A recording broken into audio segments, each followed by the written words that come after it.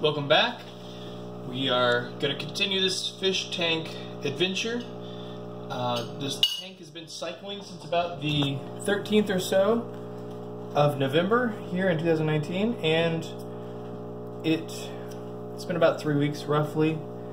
So it's had time to cycle through uh, with the filter. We added the gravel yesterday.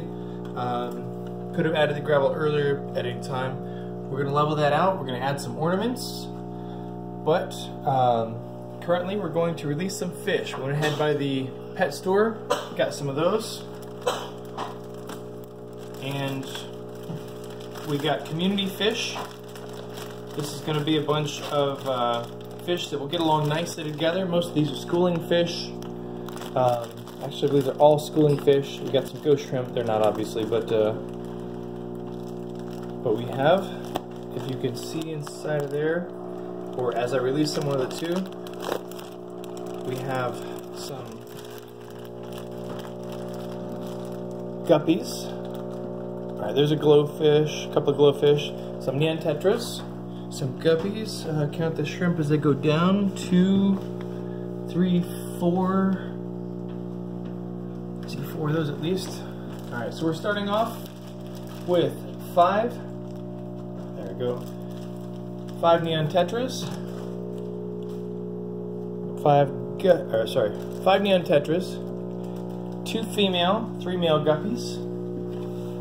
Four GloFish. And some ghost shrimp. So, decent little variety there of fish. Uh, we're going to be using uh, Tetramin for the fish food anytime that I introduce fish into the tank, I take care to feed them. Uh, remember in previous video I left a little bit of space in between here and here. It's supposed to be filled to about there. I left just a little bit of space so that whenever I added the gravel, it would go up. And as I mentioned before, the recommendation for the gravel was about one pound per gallon. And uh, actually, this right here is probably about as much as I'll put. Maybe I'll put a little more filler in there, but uh, that's about 16, uh, roughly 40 pounds of gravel in there. So you can get away with a little more or a little less depending on your preference.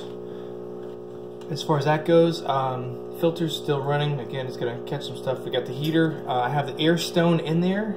I'm going to connect the air pumps to that so the fish will get uh, some bubbles to play in and stuff like that. We'll have some ornaments in there very shortly. And the ornaments I've used before, so they're a little bit old and need to be painted, but um, we will get those done.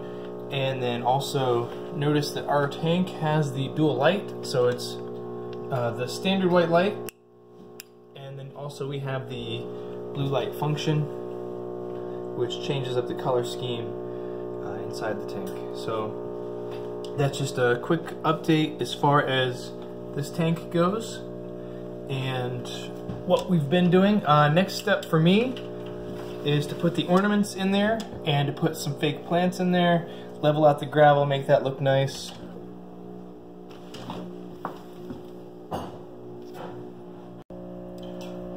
and thanks again for watching. Please remember to visit www.davidhtroyer.com. Please visit my social media uh, outlets. Also, please visit amazon.com slash author slash David H. Troyer. Have a great day, and I'll keep you updated as I make changes to this uh, aquarium.